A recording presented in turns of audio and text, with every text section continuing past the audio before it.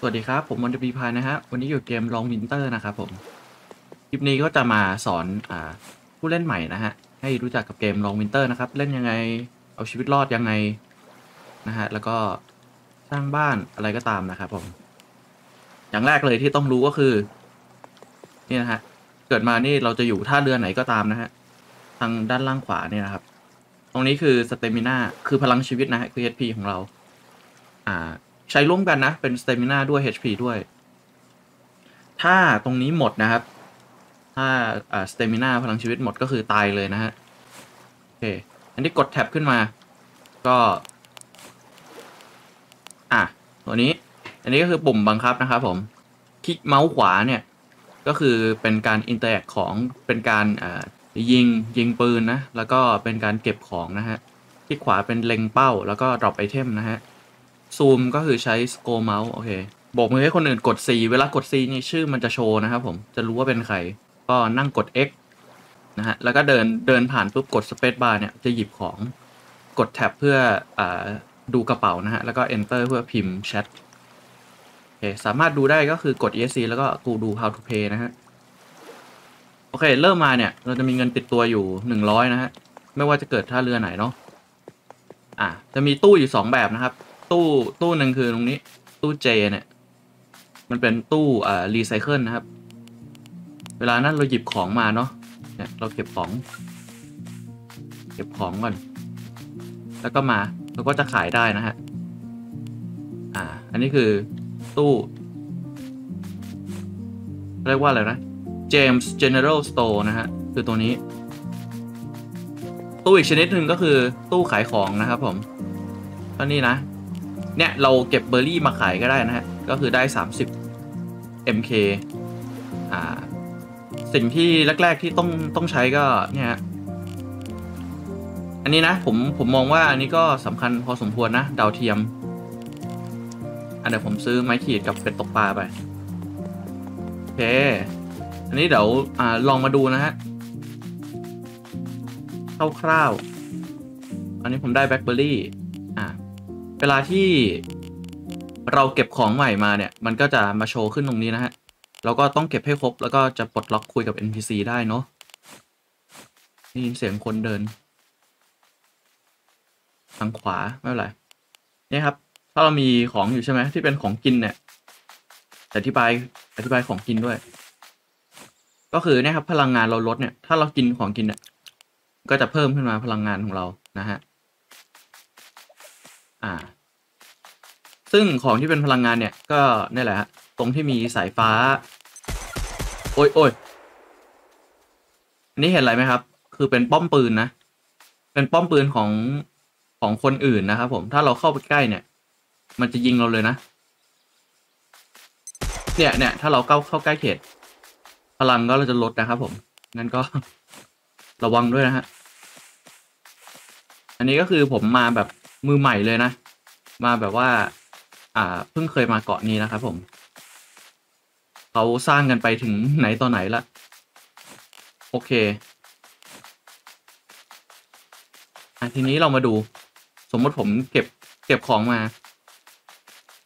ตัวเนี้ยมันเป็นท่าเรือเล็กนะ เดี๋ยวเดี๋ยวผมจะพาไปอ่าตัวเมนท่าเรือเมนนะฮะท่าเรือใหญ่ที่สุดนะ เอาโพสที่ใหญ่ที่สุด โอเค อย่างเงี้ย เอาอันนี้มาแลกได้สามสิบเอาแบล็คเบอร์รี่แลกได้สิบอ่าก็กดไปนะคลิกไป เอาอันนี้เรียกว่าอะไรนะราสเบอร์รี่อ่าได้สามห้าพวกนี้ไม่ได้นะ พวกนี้แลกไม่ได้ไหนที่มันแลกไม่ได้ก็คือเราก็เนี่ยแหละครับ มาขายใส่ตู้ แต่ว่าเก็บไว้กินดีกว่านะ เพราะพลังงานเราลดลงไปนะฮะ ดอกไม้เนี่ยก็เอาไปขายนะฮะนี่อันนี้คือวิธีหาเงินนะ วิธีหาเงินอ่าขายได้น้อยจังไม่ได้มีตู้ที่แบบรับซื้อดอกไม้อยู่แหละนะฮะก็สามารถไปหาเอาได้นะ ไปเดี๋ยวพาไปดูอีกหลาย ๆ จุดนะฮะโอเคครับพูดถึงก็จะมีอ่าในเกมก็จะมีอย่างนี้นะครับ เป็นจุดตกปลานะ เมื่อกี้เราได้เบ็ดตกปลามาเนาะเราคลิกซ้ายทีหนึ่งก็จะเป็นการสวมใส่นะ อะไรที่เราสวมใส่เนี่ยมันจะอยู่ที่หลังนะฮะจะอยู่ที่กระเป๋าเป้ใบนี้เนาะอย่างเช่นตัวนี้ก็โยนมาตกปลานะฮะกดคลิกซ้ายแล้วก็เขาบอกนะครับว่า เวลาที่ปลากินเบ็ดเนี่ยให้กด E รัวๆถึงจะได้ปลานะครับ จริงๆ สามารถกดรอได้เลยนะเนี่ยกดรัวๆรอได้เลย แต่ว่ามันจะดึงขึ้นได้ก็ต่อเมื่ออ่าเนี่ยครับ อันนี้กด E รัวก็จะได้ปลามา ปลานี่ก็มีให้สะสมเนี่ยสิบตัวนะ ต้องไปสะสมให้ครบนะฮะ โอเคทีนี้เวลาที่เราว่ายน้ำเนี่ย เราว่ายได้นะ แต่ว่าจะเปลือง stamina มากขึ้นนะครับผม อ่า เดี๋ยวเรื่องตัดต้นไม้เดี๋ยว เดี๋ยว อ่า เดี๋ยวบอกอีกทีนะฮะนี่ยังไม่มีอุปกรณ์นะอ่าแล้วก็ภายในเกมก็จะมีจุดอย่างนี้ครับเขาเรียกว่าเป็นอ่าจุดฟาร์มนะฮะตรงนี้นะสังเกตเนี่ย ตัวนี้คือคอนเทนเนอร์นะครับ สี สีเหลืองตรงเนี้ยอ่าเดี๋ยวคอนเทนเนอร์มาถึงปุ๊บกด spacebar แรกๆเนี่ยเราอะไรก็ไม่รู้แหละเอาไปหมดแหละนะฮะสำหรับมือใหม่เนาะเพราะว่า เราเขาเรียกว่าอะไรอะไรก็ได้ครับ เราดีกว่าเราไม่มีเลย อ่าเนี่ยในโกดังก็นี่ครับมี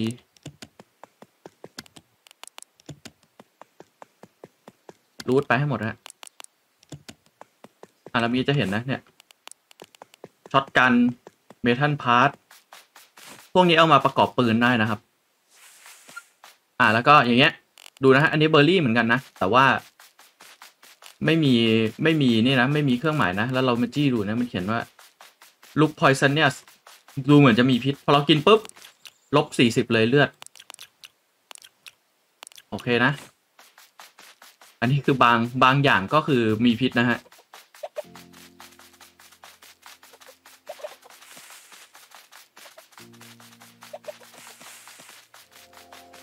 เอาละครับตอนนี้ผมก็มาถึงตัวเอาโพสหลักนะฮะนี่นะครับเขาจะบอกว่าอยู่ใกล้กับแคมป์ไฟเนี่ยเลือดเราจะเพิ่มนะฮะเนี่ยก็ดูนะครับ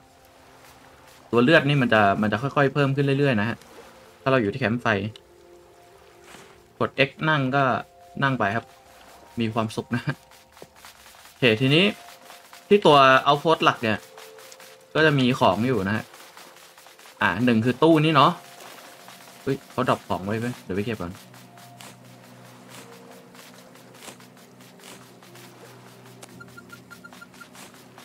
อุ้ยอุ้ยโชคดีเขา drop เต็นท์ไว้ โอเค โอเค โอเคจะเริ่มจากการขายปลาก่อน โอ้เขา drop เต็นท์ไว้ทั้งสามอันนะฮะ โชคดีมากเลยสำหรับเรานะ โอเค เดี๋ยว ทีนี้ก็ที่ outpost หลักนะฮะ ก็คือ ตู้นี้เนาะเหมือนเดิม ก็คือตู้ขายของขายได้ทุกอย่างนะฮะขายได้ทุกอย่างสำหรับตู้นี้ตู้นี้คือเอาปลามาแลกนะครับ ถ้าเราตกปลาเราเอาปลามาแลกก็ได้เงินตามนี้นะฮะโอเคตู้นี้อะไรเอ่ยตู้นี้เอาดอกไม้มาแลกนะครับ มี hepatica กับ poppy เนาะแล้วก็นี่เลื่อยยนต์อันนี้สำคัญ เลื่อยยนต์เนี่ยไว้ตัดต้นไม้นะฮะแล้วก็อันนี้เอาไว้ปลูกพืชเนาะสองอัน อ่า ตัวนี้ก็คือเอา เอาอ่าของมาขายเนาะแบล็คเบอร์รี่นะเรามีอยู่ขายไปเลยครับ แล้วก็นี่อะไรเอ่ยคลาวเบอร์รี่ลัสเบอร์รี่อันนี้ของเราเป็นลัสเบอร์รี่บูชกับแบล็คเบอร์รี่บูชโอเค เดี๋ยวผมขายลัสเบอร์รี่ไปก่อน โอเค ทีนี้พอเราได้เงินมาเนี่ยครับ ได้เงินมาก้อนหนึ่งเนี่ย ตู้นี้คือตู้ขายของเนาะจะมีตู้หนึ่งตู้แดงตรงนี้นะฮะหนึ่งคือเนี่ยไม้ขีด ไม้ขีดเนี่ยเอาไว้ทำอะไร ไม้ขีดเอาไว้ตั้งกองไฟนะฮะ อย่างเงี้ยกองไฟของอ่า NPC เนี่ย ที่อยู่ด้านซ้ายมือนะ อันนี้กองไฟเนี่ยมันจะไม่มีวันดับนะครับ แต่ถ้าเราจุดเองเนี่ย ผ่านไประยะหนึ่งปุ๊บมันจะหายไปนะครับ อะอย่างเงี้ยเต็นท์เนี่ยราคาเจ็ดร้อยผมถึงบอกว่าเอ้ยเราโชคดีมากเลยที่เราเราได้เต็นท์มานะฮะ เต็นท์หนึ่งในราคาประมาณหกเก้าเก้าเนาะเจ็ดร้อยบาท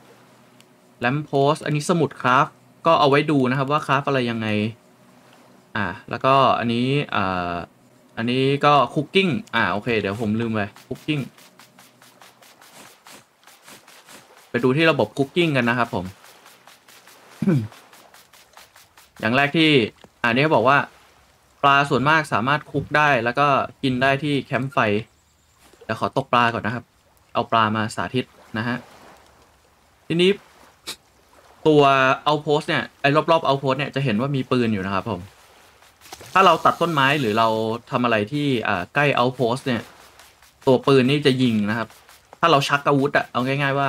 ไม่ว่าจะเป็นปืนเป็นเลื่อยเป็นขวานเป็นอะไรเนี่ยเอาโพสเนี่ย ป้อมมันจะยิงเรานะครับ ผม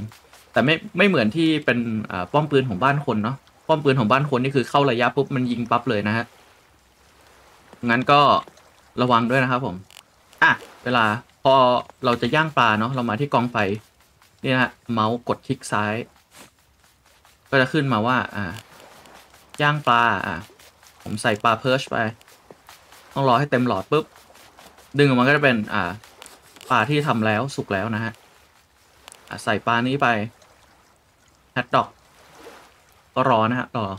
ปลาแต่ละชนิดเนี่ย อ่า เพิ่ม stamina ไม่เท่ากันนะครับหนึ่งคือเพิ่ม stamina ไม่เท่ากัน แล้วก็ อ่า เรียกว่าอะไร อืมเพิ่มสเตมินาไม่เท่ากันแล้วก็อ่าราคาที่เอามาขายก็ไม่เท่ากันนะปลาแต่ละชนิดเนี่ยจริงๆ ถ้าทำเป็นคุกนี่ขายได้ราคาน้อยกว่าปลาสดอีกนะครับแต่ทีนี้ผมขายของที่ไม่จำเป็นก่อนล้วกัน อ่า พวกพืชผักต่างๆ ดิวนี่มันคืออะไร อะตัวช็อตการรูปนี่ รูปนี่เหมือนจะดีนะ ของม่วงเลยนะ ขายได้ศูนย์ ก็ไม่รู้ว่าปกติก็คือเอาไว้ประดับอย่างเดียวนะครับ แต่ว่าไม่รู้ว่ามันแจกเยอะเหลือเกินโอ้เต็นท์ขายได้สองร้อยสี่มากโอเคเราเอาเต็นท์เดียวพอ ปลาเก็บไว้กินนะฮะโอเคตอนนี้มีเงินเก้าร้อยแล้วที่ผมจะอยากได้ก็คือเลื่อยยนต์นะ อะเลื่อยยนต์ไป เดี๋ยวสาธิตการตัดต้นไม้นะครับโอเคคราวนี้เดี๋ยวผมหาจุดดีๆสำหรับอ่ากางเต็นท์ของผมก่อนอ่ายังไม่ครับเขาโบกมือปุ๊บชื่อมันจะขึ้นนะ ที่เขาโบกมือเมื่อกี้ปุ๊บชื่อมันจะขึ้นนะ เพราะฉะนั้น ถ้าสมมุติเราจะอ่าใครที่เขาไม่โบกมือไม่โชว์ชื่อเนี่ยเขายิงเราเลยเนี่ย เราจะไม่รู้นะครับ ว่าเขาเป็นใครนะฮะโอเคเดี๋ยวผมขอตัวไปหาที่ตั้งแคมป์ก่อน เอาละครับ ตอนนี้ผมเจอจุดที่ผมคิดว่าผมโอเคแล้วนะ ผมชอบละ คิดว่าผมจะตั้งเต็นท์แถวนี้นะครับ คราวนี้ก็กดแท็บขึ้นมานะ ดู inventory กดที่เต็นท์ได้เลยนะ แล้วก็เลือก อะนี่นะครับ เวลาเราจะวางอะไรเนี่ย มันจะมีสีอย่างนะฮะจะมีสีนะครับ ก็ดูนะฮะด้านด้านด้านซ้ายมือเนาะสีแดงคือจะวางไม่ได้นะครับ ถ้าสีน้ำเงินคือใครก็ได้ใครก็หยิบได้นะฮะสีเขียวคือมีแค่เราที่หยิบได้ ส่วนสีเหลืองคือ ไม่สามารถที่จะหยิบขึ้นมาได้หลังจากที่วางไปแล้วนะฮะโอเคเดี๋ยว ผมก็จะเลือกอ่าสีเลือกที่วางก่อนเนาะ ผมเลือกวางตรงนี้แล้วกัน โอเค ตอนนี้ผมก็ได้เต็นท์แล้วฮะเดี๋ยวเข้าไปดูข้างในตัวเต็นท์เนี่ยเนี่ยครับมันจะบอกว่าคุณเท่านั้นที่สามารถเข้าเต็นท์ได้นะฮะแล้วก็ต้องใช้อ่าต้องเป็นบ้านไม้ถึงจะสามารถที่จะ เรียกว่าอะไรนะ เรียกว่าอัปเกรดบ้านได้นะ เป็นบ้านหลัง สังเกตนะครับ เท่าที่เดินผ่านมาก็จะมีบ้านที่เป็นหลังกับบ้านที่เป็นอ่า เป็นเรียกอะไรนะเป็นเป็นบ้านเป็นเต็นท์นะแล้วก็เป็นบ้านหลังคือเต็นท์เนี่ย ทุกอย่างที่อยู่ข้างในเต็นท์เนี่ยคือปลอดภัยนะ ไม่มีใครเข้ามาเต็นท์ของเราได้นะครับ แต่บ้านหลังเนี่ย มันจะมีบริเวณด้านรอบๆนะฮะที่สามารถวางของได้โดยที่ถ้าคนจะทำร้าย ถ้าคนจะทำลายเนี่ย เขาไม่สามารถหยิบได้นะ แต่ว่าสามารถทำลายได้ด้วยเลื่อยยนต์โอเคคราวนี้ดูที่เลื่อยยนต์นะครับผมตอนนี้ผม เปลี่ยนจากเป็ดตกปลามาใส่เลื่อยแล้ว ก็จะมาอยู่ที่หลังแล้วนะอ่าอันนี้ก็กดใช้คลิกขวา อ่าคลิกขวาละ ก็จะได้ไม้มาเดี๋ยวดูนะว่าได้เท่าไหร่ โอเค ดรอปมาอันเดียว โอเค น้อยมาก ไม่เป็นไร โอเคเดี๋ยวผม ผมคิดว่าผมจะกลับไปที่เอาโพสอีก ผมจะไปซื้อของเพิ่มนะฮะ โอเคโอเคครับ ตอนนี้ผมอยู่ที่เอาโพสแล้วฮะ คนเยอะมากเลยฮะโบกมือทักทายกัน แต่ว่าผมไม่อยากโชว์ตัวตนผมนะ ผมก็จะไม่โบกมือแล้วกันนะฮะโอเคคราวนี้ อืม เราไม่มีของ เราไม่มีปลาที่ขายได้ดอกไม้ที่ขายได้ไม่มีอ่าเบอร์เบอรี่ดูสิโอเคมีอันนี้หน่อยอันหนึงโอเคฮะที่เหลือก็เดี๋ยวขายของสักครู่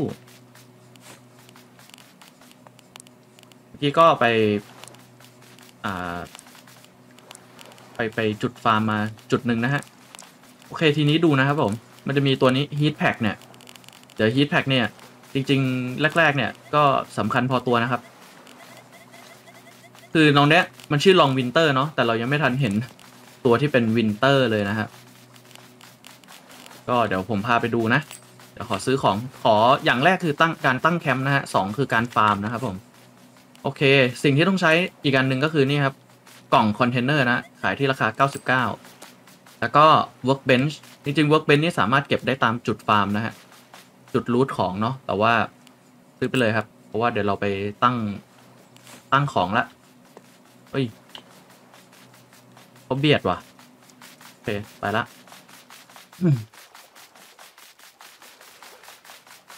โอเคเดี๋ยวผมกลับไปที่แคมป์ผมก่อน นี่คืออะไรเอ่ย red sugar beet โอเคเดี๋ยวผมกลับไปที่แคมป์ก่อนนะฮะ เอาของเข้าไปข้างใน นี่นะครับ ที่ผมเอามาหนึ่งคือ workbench นะฮะ workbench เอาไว้ทำอะไร เอาไว้ craft ของต่างๆนะฮะ แล้วก็ไว้อัปเกรดบ้านเนาะสองก็คือคอนเทนเนอร์ อ่าวางไว้ อีกอันหนึ่งที่ผมได้มาคือไฟเพรสนะฮะ ไฟเพรสเนี่ยมีประโยชน์หลายอย่างนะครับหนึ่งคือฮิลเราสองคือเพิ่มเลือดนะฮะ อ๋อลืม อะทีนี้เวลาที่เราวางไปแล้วเนี่ยเรามาใกล้ๆเรากดคลิกขวาเนี่ย อ่า ต้องเป็นมือเปล่านะถอดอุปกรณ์ด้วยการมาที่อ่า equipment นะ จากแบ็คแพคมาเป็น equipment กดทีหนึ่งเป็นการถอดอุปกรณ์ต้องเป็นมือเปล่านะฮะ แล้วก็กดคลิกขวาโอเคแล้วก็เก็บได้ อันนี้คือการถอดอุปกรณ์นะฮะอันนี้ผมจะตั้งไฟเพจไว้ตรงนี้ การที่มีไฟเพจอยู่เนี่ยจะทำให้เวลาที่เราอยู่ใกล้ไฟเพจเนี่ย อ่า เลือดเราจะเพิ่มนะครับผม โดยที่เราไม่ต้องไปกินข้าวนะ อันนี้กดใช้โต๊ะคราฟก็เนี่ยฮะสเปซบาร์นี่นะครับ มันจะบอกว่าเต็นท์เนี่ย ใช้ไม้หนึ่งร้อยเพื่ออัปเกรดนะครับ อัปเกรดจากเต็นท์เป็นบ้านนะ โอเค ผมก็ฝากไว้ฝากไปก่อน โอเค ทีนี้ของที่ไม่จำเป็น ผมก็จะ เก็บไว้ในนี้ก่อนนะฮะ อันนี้เลื่อยมา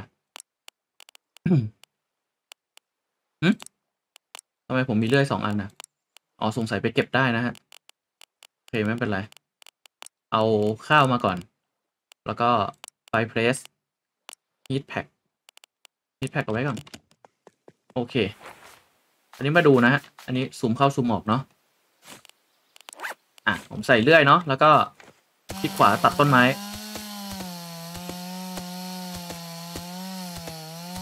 มาดูกันครับว่าการอัพเป็นจากเต็นท์เป็นบ้านเนี่ยมันยากแค่ไหนนะครับนนี้เราได้ไม้มาหนึ่งต้นเราได้ไม้มาแค่อ่าหนึ่งนะฮะ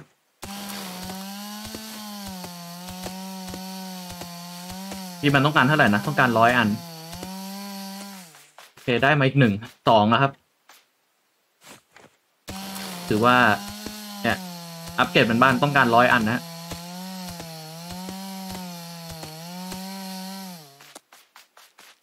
อ เค ได้สามละ เข้าเต็นท์แล้วกด spacebar เนาะเข้าเต็นท์กด spacebar ที่โต๊ะอะตอนนี้ได้ห้าแล้วครับ จากหนึ่งร้อยโอเคก็เดี๋ยวขอตัดไว้ก่อนแล้วกัน ตัดไปก่อนแล้วเดี๋ยวมาให้ดูอีกทีตอนที่อาจจะอัปเกรดเสร็จนะฮะเอาละครับตอนนี้ก็อ่าเก็บไม้นะฮะครบหนึ่งร้อยแล้วเนาะก็เนี้ยที่เหลือกดฝากโอเคครบหนึ่งร้อยแล้วก็กดอัปเกรดครับ อ่าเขาจะบอกว่าดอโค้ดดิจิตโอเค ก็เซตไปนะฮะ มันถ้าเพื่อนรู้รหัสก็คือสามารถเข้าได้นะฮะ แล้วก็เลือกสี อ่า สีหลังคาเนาะ เป็น อ่า สีอะไรเดียวสีเขียวมิ้นแล้วกัน โอเค ตัวเลือกเดี๋ยว ตัดก่อนแล้วกัน โอเคครับ ตอนนี้ก็อัปเกรดเรียบร้อยนะฮะ ก็กลายเป็นบ้านแล้วเนาะไปดูข้างนอกกันครับ โอเค ผมได้บ้านหลังแล้วนะฮะ ตอนนี้ตอนนี้ความที่มีบ้านหลังเนี่ยจะต่างจาก จะต่างจากมีปกติยังไง โอเค เดี๋ยวผมให้ดูนะฮะ อันนี้คือรั้วนะครับผมรั้วคราฟจากไม้สองชิ้น ปกติรั้วเนี่ย อ่า ถ้าถ้าไกลเนี่ย มันจะบอกนะ ซ้ายบนบอกว่า ไกลเกินไปคือตัวเราวางไม่ได้ ตัวนี้เห็นไหมครับ ก็สีเขียว ถ้าอย่างนี้สีเขียว อย่างนี้สีฟ้า สีฟ้าเนี่ยคือ ใครมาถึงปุ๊บเขาก็ เขาก็หยิบอย่างนี้ได้นะใครมาถึงปุ๊บเขาก็สามารถที่จะหยิบอย่างนี้ได้เลยนะฮะอ่า แต่ถ้าเป็นสีเขียว ถ้าเป็นสีเขียวแบบนี้ เอาหมุนก่อน ถ้าเป็นสีเขียวแบบเนี้ย คนเขาจะมาหยิบไม่ได้นะครับ จะเป็นแค่เราเท่านั้นที่ที่สามารถเก็บได้นะฮะวิธีที่ถ้าเกิดว่าสีเขียวเนี่ย วิธีเดียวที่เขาจะเข้าได้คืออ่าใช้เลื่อยนะครับ ใช้เลื่อยเลื่อยอย่างเงี้ย อันนี้ก็จะเกิดดาเมจนะ ก็เลื่อยไปสักพักใหญ่ๆครับ ถึงจะบ้านก็จะพังนะฮะอันนี้เนี่ยป้ายป้ายเนี่ย เราก็พิมพ์ข้อความไปแล้วก็ปักไว้นะเหมือนเดิมนะฮะสีเขียวคือ สีเขียวคือมีแค่เราเท่านั้นที่เคลื่อนย้ายป้ายได้นะฮะผมจะปักไว้เป็นเขตก่อนเนาะว่ามันสุดแค่ไหน นี่นะฮะเขตบ้านก็คือแบบไกลมากนะ กว้างมากนะครับ เขตบ้านเนี่ย โอเคตอนนี้มันจะมีอีกอย่างหนึ่งฮะมันก็คืออ่าแปลงผักนะ อีกอันหนึ่งที่ระบบหนึ่งที่ที่เขาเรียกว่าแปลงผักเนี่ย หรือว่าแปลงพืชนี่แหละครับ คือเวลาเราวางเนี่ย โอเค เนี่ย มันเป็นสีเขียวนะตอนวางเนี่ย คือใครเขาก็จะมาไอ้นี่เราไม่ได้ ย้ายแปลงเราไม่ได้ แต่ว่า ต้นไม้เนี่ย ถ้าเราปลูกไว้เนี่ยแล้วมันโตขึ้นมานะครับ ใครก็เดินมาเก็บได้นะ ถ้าเราไม่ล้อมรั้วเนี่ย เพราะฉะนั้นถ้าเราจะล้อมรั้วก็คืออ่าถ้าเราไม่อยากให้คนมาเก็บเราก็ต้องล้อมรั้วไว้นะครับเพื่อไม่งั้นเขาเดินมาถึงปุ๊บเขาก็เก็บเลย อ่านี้ได้เท่าไหร่ อันนี้ปลูกได้เก้าอันนะ อันนี้คือแปลงใหญ่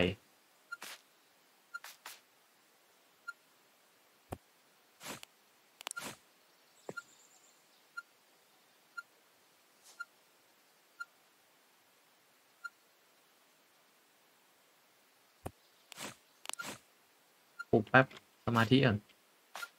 เล็ง โอเค ก็ปลูกทิ้งไว้นะฮะ เดี๋ยวก็มาดูว่ามันโต โตยังไงนะ โตได้เท่าไหร่นะฮะ โอเค เดี๋ยวพาไปลุยฝั่ง อ่า ฝั่ง winter เดี๋ยวนะ ฝั่งฤดูหนาวนะ เอาละครับ ตอนนี้ผมก็มาถึงเขตรอยต่อนะฮะ เนี่ยนะรอยต่อระหว่าง อ่าเรียกว่าอะไร winter กับ เป็นเป็นฝั่ง winter นะ ฝั่งอ่าฤดูหนาวนะ ซึ่งดูนะครับ ถ้าเราไปเหยียบหิมะเนี่ย จะเกิดอะไรขึ้น ให้ดูที่หลอดพลังงานแล้วนะ มันจะลดเร็วมากๆนะครับ เพราะว่ามันหนาวนะ สิ่งที่เราต้องทำก็คือเนี่ยใช้ heat pack นะครับ ตัว heat pack เนี่ยจะลด damage จากความหนาว 90%นะฮะ คือยังโดนอยู่ 10%นะ แต่ก็ช่วยได้เยอะครับ ฝั่งฤดูหนาวเนี่ย ฝั่งหนาวเนี่ย อันนี้คือจุด น่าจะเป็นจุดไฮรูทที่สุดแล้วนะสำหรับผมนะผมว่า การที่เราจะมานี่คือเราต้องอ่าเตรียมเตรียมของไว้นะ เตรียมกับข้าว เตรียมอาหงอาหารเอาไว้โอเคอย่างหนึ่งนะฮะ ถ้าเกิดว่าเราหยิบของในในจุดรูทมาไม่หมดเนี่ย กล่องมันจะไม่หายไปนะครับ กล่องมันจะไม่ไม่รีอะครับ เพราะงั้นอะไรที่เราหยิบให้หมดแล้วอะไรเราไม่ต้องการเนี่ยเราทิ้งไว้ได้นะฮะ แต่ว่าที่สำคัญคือเราเราต้องหยิบให้หมดนะ อันเนี้ยยังไม่ใช้ทิ้งไว้ก่อนอ้าวได้ดาวเทียม อ่าตัวนี้นะครับ คือ Satellite นะดาวเทียมคือเราสามารถจริง ๆ เราสามารถซื้อได้แหละ ที่ที่ท่าเรือที่เราเกิดแรกเลยนะฮะอ่าเดี๋ยวเดี๋ยวขอทิ้งของก่อนนะฮะตัวตัว Satellite เนี่ยเนี่ยถ้าเรากดใช้นะฮะ ปุ๊บมันจะโชว์ตรงนี้ขวาบนพิกัด ตอนนี้เราก็จะรู้ว่าเราอยู่ที่ที่ไหนเนาะ snack bar อะกินก่อน โอเคไหนขอดู snack bar หน่อยสิsnack bar อ่าเพิ่ม energy โอเคครับ ก็พวกเนี้ยเนี่ยถ้าเรา loot ของไม่หมดเนี่ย กล่องมันก็จะไม่ re นะฮะ มันก็จะมีของเยอะและข้างในโอเคจุดนี้คิดว่าน่าจะเป็นจุด high loot ที่สุดแล้วนะ เท่าเท่าที่ผมเจอนะครับผม ก็เนี่ยมีคนสร้างบ้านใกล้จุด high loot เลยด้วยโอเค ก็นี่อันนี้คือการเล่นคร่าวๆนะฮะหน้าหนาวก็ที่สำคัญคือถ้าตัวเนี้ย ถ้าตัวฮีทแพ็กเราหมดเนี่ย ก็ยุ่งยากแล้วครับ ตอนนี้เรายุ่งเลย โอเคผมได้ของมาพอสมควรเดี๋ยวผมกลับไปที่บ้านก่อนนะ อ่าไปขายของที่เอาโพสดีกว่าครับอะอะพูดถึงตัวบัฟนะฮะ มาพูดถึงตัวบัฟกันบ้างก็คือตัวนี้ energy drink นะฮะ พอกินแล้วปุ๊บเราจะวิ่งเร็วขึ้นนะ อันนี้คือบอกว่าวิ่งเร็วขึ้น 12%นะฮะ ก็วิ่งเร็วขึ้นจริงนะพูดปาร์ตเลยล่ะ อเคนี่ครับก็วิธีหาเงินก็คือตกปลาเอาปลามาขาย เก็บต้นไม้หรือว่าปลูกต้นไม้เอามาขายนะฮะแล้วก็ตัวไป loot ของแล้วก็มาขายเนาะอะไรแบบนี้ฮะ แล้วก็ทำบ้านเรา ก็เท่าที่เห็นก็มี มีบ้านมีอะไรที่ที่คนเขาสร้างไว้แล้วนะฮะก็ป้อมปืนนี่จริง ๆ ก็มีให้ซื้อนะ แต่ว่า เราต้องกดล็อกไอ้พวกนี้ก่อนนะฮะกดล็อกเก็บของเก็บของให้ให้ครบก่อนเราถึงจะสามารถปลดล็อกมันได้นะ โอเค ไหนดูซิ ขายไป ขายไป อะไรที่ไม่ใช้ขายไปก่อนนะฮะสำหรับต้นเกมนะ โอเคยังมีสิ่งหนึ่งที่ผมลืมพูดไปนะฮะก็คือการตั้งแคมป์ไฟนะฮะ การตั้งตั้งแคมป์ไฟด้วยไม้ขีดเนาะมาเนี่ยครับ เราจะมีอ่า wood and match เนาะไม้ขีดไฟ อ่าถ้าเราตั้งแคมป์ไฟนะครับปุ๊บ ก็จะเกิดแคมป์ไฟขึ้น ตอนเนี้ยตรงเนี้ยเลือดเราก็จะ regen ได้นะครับ ด้วยการที่เรานั่งใกล้แคมป์ไฟ สมมุติ เออผมผมยันนี้ผมอยากรู้กัน ถ้าผมตั้งสองแคมป์ไฟอะ มันน่าจะรีเจนเร็วขึ้นไหมอ่า มันจะรีเจนเร็วขึ้นนะฮะ โอเคก็นี่แหละครับถ้าไงวันนี้ขอบคุณทุกคนที่เข้ามาชมนะฮะ หวังว่าคลิปนี้จะเป็นประโยชน์นะครับผม ก็ไปละ ขอบคุณมากครับ ฝากกดไลค์กดติดตามด้วยนะ บ๊ายบายครับ สวัสดีครับ